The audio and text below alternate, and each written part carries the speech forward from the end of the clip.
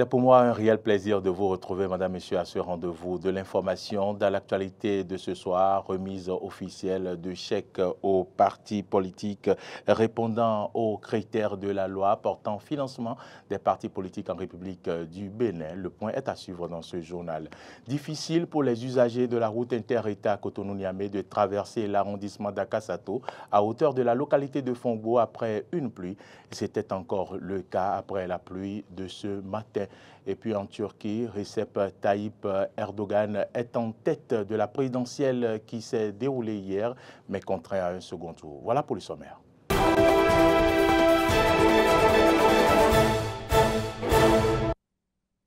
Merci à toutes et à tous de votre fidélité et bienvenue dans ce journal. Le président Patrice Talon et une délégation vont rencontrer des investisseurs en France afin de nouer de nouveaux partenariats économiques. Suivez ici le commentaire de Arthur Wendo. Le chef de l'État béninois est en France depuis ce samedi. Pas de communication officielle sur ce voyage de Patrice Talon, qui pour la circonstance était accompagné de son ministre de la Santé. De sources concordantes, le chef de l'État avait rencontré notamment à Lyon de nouveaux partenaires, des investisseurs, afin de nouer de nouveaux partenariats économiques. Le gouvernement avait besoin en effet d'attirer des investisseurs étrangers dans le domaine de l'agriculture, de l'énergie, des infrastructures et de la santé pour accroître l'économie béninoise. Par ailleurs, le chef de l'État a eu une rencontre informelle avec des journalistes français. Au cours de ce déjeuner, les échanges ont porté sur divers sujets tels que la coopération bilatérale, les enjeux économiques et politiques, ainsi que les questions régionales et internationales. Occasion pour le président Talon de partager sa vision et ses perspectives sur les questions d'intérêt mutuel entre le Bénin et la France. J'en parlais dans les titres. La Commission électorale nationale autonome Sénat a procédé ce matin à la remise officielle des chèques aux partis politiques euh, répondant aux critères de la loi portant financement des partis politiques en République euh, du Bénin. 1,5 milliard ont été alloués à quatre partis politiques au titre des deux premiers trimestres de l'année 2023. Suivez le reportage, le compte-rendu bien sûr, de Clément Sonnecois. L'Union progressiste Le Renouveau, le Bloc républicain, les démocrates et les forces Corée pour un Bénin émergent sont les quatre partis qui ont reçu l'invitation de la Sénat pour recevoir leurs subventions. L'UPR se taille la part belle avec un chèque de 706 870 921 francs. Viennent ensuite le BR, les FCBE avec 129 421 488 francs et les démocrates 118 165 137 francs. Avant la remise des chèques, le président de la Sénat a rappelé les conditions d'éligibilité. En ce qui concerne euh, la clé de répartition globale, pour les élections législatives, c'est 40% du montant. Pour les élections locales, c'est 60% du montant le gouvernement a reconduit la même somme que l'année dernière, c'est-à-dire 3 milliards pour les quatre trimestres. Donc à raison de 750 millions par trimestre. Pour les élections communales, il n'y a pas de modification. Il n'y a que trois partis qui ont des élus locaux, le FCBE, l'UP, le Renouveau et le Bloc républicain. Le, le parti des démocrates n'a pas d'élus aux élections locales. Pour les élections législatives, donc le Parti des démocrates intervient. Le parti FCPE n'a pas de député. Donc, en ce qui concerne la tranche dédiée aux élections législatives, les partis démocrates sont intervenus. Donc, on a tenu compte de ça dans les calculs. Selon l'article 5 de la loi portant financement public des partis politiques en République du Bénin, cette subvention est destinée à couvrir, entre autres, les charges liées au fonctionnement des partis, la promotion de leurs programmes politiques et leur participation aux consultations électorales. Depuis quelques jours, les Béninois sont confrontés aux coupures intempestives d'électricité sur toute l'étendue du territoire national. Une situation déplorable qui suscite l'indignation des populations qui croyaient avoir conjugué au passé cette situation. Dans ce commentaire, le porte-parole du gouvernement explique les raisons. Suivez.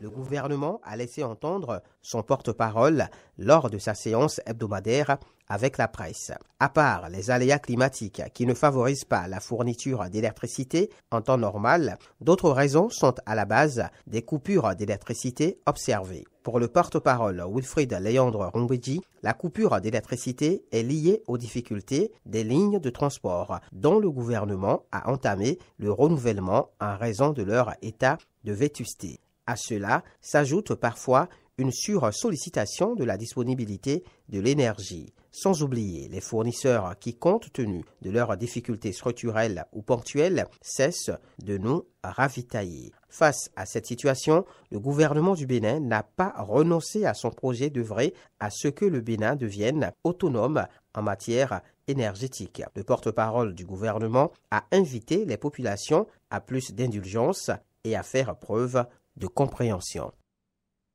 Après le département du littoral et celui de l'OME, le directeur général de l'Agence nationale d'identification des personnes ANIP s'est rendu ce vendredi à Lokosa, dans le département du Mono, pour échanger avec les autorités préfectorales et communales et trouver par la même occasion des solutions appropriées aux doléances des populations dans le cadre des services à eux offerts par les agents de l'ANIP déployés sur le terrain. Suivons le commentaire de Arthur Wendo. Pascal Niamoulinda, dans le Koufour, c'était pour créer de meilleures conditions de vie et de travail à ses collaborateurs et surtout donner satisfaction aux demandes des usagers que le directeur général de l'ANIP a décidé de poursuivre sa tournée entamée depuis quelques semaines. Il était plus précisément à Lokosa, première étape de cette descente pour échanger non seulement avec les autorités préfectorales et communales, mais aussi pour apporter des solutions adaptées aux doléances des populations dans le cadre des prestations offertes par l'ANIP accompagnées pour la circonstance des responsables à divers niveaux de l'ANIP. Ils ont pu constater de visu l'effectivité de la distribution des cartes biométriques, l'unité de production des demandes ainsi que le bon déroulement des opérations et de formation dans le cadre de l'enrôlement au RAVIP pour ceux qui ne l'ont pas fait dans le temps prescrit par les tests de la République. Après les différents constats, le DG de l'ANI, Pascal Molenda, a recommandé aux unités communales pour l'identification des personnes et leurs assesseurs de réserver un accueil chaleureux aux usagers de leur offrir, en l'occurrence une meilleure prestation de service. Il a rappelé à ses collaborateurs que les préoccupations liées aux erreurs manifestes de réclamation de demandes et autres qui pourraient être gérées sur place doivent l'être afin de donner satisfaction aux usagers. Et j'en parlais en titre difficile pour les usagers de la route inter-État Cotonou-Niamey de traverser l'arrondissement d'Akasato à hauteur de la localité de Fongbo après une pluie comme celle qui s'est abattue sur le Béneto ce matin. C'est ce que nous fait découvrir Frédéric Espoir Oumambou dans ce reportage, commentaire que je vous invite à suivre. Les pieds dans l'eau en pleine chaussée, c'est devenu le quotidien des usagers de la route inter-État Cotonou-Niamey à hauteur de la localité de Fongbo dans l'arrondissement d'Akasato, commune d'Abomey-Calavi. Une situation qui dure et perdure depuis plusieurs années déjà, sans pourtant toucher le cœur des responsables en charge des infrastructures routières dans notre pays. Il suffit d'une petite pluie comme celle de ce mercredi 19 avril 2023 une pluie qui n'a duré qu'une demi-heure et la circulation à ce niveau s'arrête. Pas moyen de rouler au-delà de la vitesse d'une tortue. Le risque d'éclabousser les autres usagers en est un. Mais celui de voir son moteur s'éteindre sous la furie des eaux en est celui le plus grand tellement ces automobilistes et cyclistes sont obligés de prendre leur mal en patience puisque la chaussée à ces moments-là donne tout l'air d'un fleuve en crue qui décide de prendre la route en otage. Nombreux sont ceux de ces usagers qui ont déjà vu leur engin échouer dans la lutte contre ces eaux de pluie à cet endroit qu'ils ne prennent plus la peine de s'y aventurer. Ils préfèrent garer et attendre un bon moment que les eaux se retirent avant de continuer leur chemin. Du côté des nombreux vendeurs dans les boutiques qui longent la voie à ce niveau-là, le temps devient long, les clients inexistants. La situation, qui mérite pourtant une attention de la part des responsables en charge des infrastructures routières, reste jusqu'ici sans solution. Pendant ce temps, les nombreuses autorités de ce pays, qui certainement prennent par là, restent muettes sur ce calvaire que vivent les populations béninoises en pleine route inter-État. Allons maintenant à Onigbolo pour parler de la société de cimenterie qui a célébré 2000 jours sans accident avec arrêt. C'est l'éclosion d'un engagement sur la sécurité et la santé pour le bien-être de son personnel. À cet effet, des journalistes ont visité l'usine pour se convaincre des dispositifs mis en place vis-à-vis de cet engagement. C'est un reportage de Frédéric Espoir ils ont tous l'air d'employés d'usine SCB Lafarge. Mais il n'en est rien. Ce sont plutôt des journalistes qui découvrent la société SCB Lafarge. Spécialisée dans la fabrication du ciment, cette société de cimenterie du Bénin est implantée depuis 1980 à Onigbolo. Une société qui ne cesse de conjuguer le travail bien fait avec la sécurité et la santé au travail pour le bien de son personnel. Ça fait quand même 5 ans et demi et aujourd'hui on parle, dans deux mois ça fera 6 ans, qu'il n'y a pas eu un sous-traitant, qu'il n'y a pas eu un personnel de la a eu un accident qui l'a obligé à rester à la maison. Je ne sais pas si vous vous rendez compte de ce que ça doit représenter à chacun de notre personnel. Et ça, je le mets à l'actif du personnel. Ayant considéré depuis toujours que la vie humaine est la chose la plus importante, plusieurs actions et dispositifs ont été mis en place pour faciliter et protéger au mieux la vie au sein de cette industrie. D'abord, un centre de santé avec un personnel soignant sur place que découvrent les hommes de médias. Avant de mener une activité, on s'assure qu'il y a un protocole de prise en charge. Donc la prise en charge commence déjà au niveau des lieux de l'accident. Tous les salariés sont formés pour le faire. Donc, pendant qu'ils font le secourisme, ils arrêtent le service de santé au travail. Si c'est à une heure ouvrée, tel que maintenant, à moins de 2-3 minutes, on est sur les lieux. On les ramène. Si ça vient gérer ici, ça se gère ici. Ce n'est pas le cas, on assure la référence. Parce que c'est une heure ou la même procédure. On a un numéro sur lequel on nous joint, quel que soit en 5 minutes, on est là. On a une cité qui est à moins d'un kilomètre ici.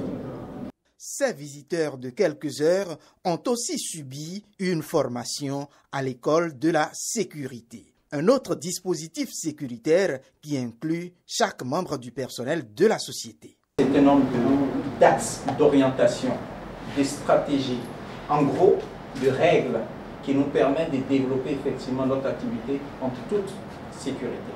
La première des règles, c'est la responsabilité. Vous avez la responsabilité de l'ensemble du personnel de la direction jusqu'au niveau du manager, en passant par les agents de maîtrise jusqu'aux agents d'exécution nous avons aussi le leadership. Le leadership de chacune des personnes qui interviennent dans cette maison. C'est-à-dire corriger les mauvais comportements, corriger les non-conformités et reporter effectivement les situations dangereuses à qui de droit. Et Dame Prudence Detondi, responsable à la direction de Cotonou, dira que cette protection de la vie humaine participe pour beaucoup aux performances de la SCB Lafarge. Tenant compte des besoins spécifiques de nos clients, nous avons le ciment CM2 32.5 pour les constructions ordinaires. Nous avons le super diamant que nous utilisons surtout pour les fondations et les dalles pour les constructions ordinaires également. Et nous avons le CM1 qui est un ciment que nous avons sur le marché pour nos professionnels des BTP. Vous convenez avec moi que plusieurs accidents avec arrêt de travail sur la chaîne de production que vous avez l'occasion de visiter aujourd'hui pourrait arrêter l'usine pendant des heures. Et ces arrêts-là pourraient causer éventuellement des ruptures de sang et par conséquent l'indisponibilité de nos produits sur le marché. Comme quoi, si le risque est permanent dans une usine comme celle-ci, on peut bien protéger au mieux son personnel. Et d'ailleurs, les responsables de SCB Lafarge comptent bien aller au-delà de cette célébration de 2000 jours sans accident avec arrêt de travail. Nous avons encore du travail pour maintenir ça.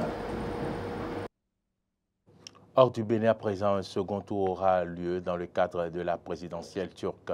Le chef de l'État sortant, Recep Erdogan, est arrivé en tête du scrutin hier, mais sous la barre des 50% des voix. Les détails dans ce commentaire de Didier Guédou.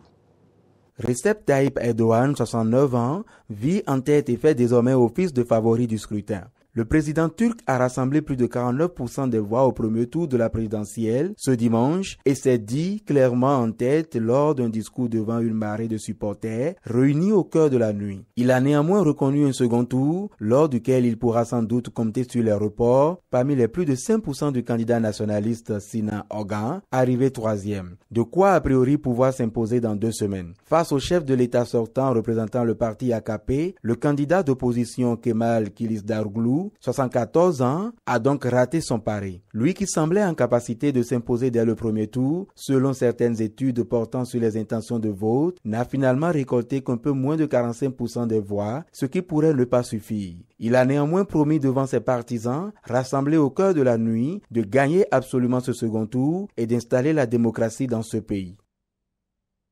Madame, Monsieur, c'est ici que se referme ce journal. Merci de votre fidélité. L'information, vous le savez, continue sur nos différentes plateformes, YouTube, Facebook, Twitter et sur notre site internet www.belen-eden.tv. Mais vous pouvez également nous suivre en téléchargeant notre application Eden TV Diaspora FM sur Play Store ou App Store.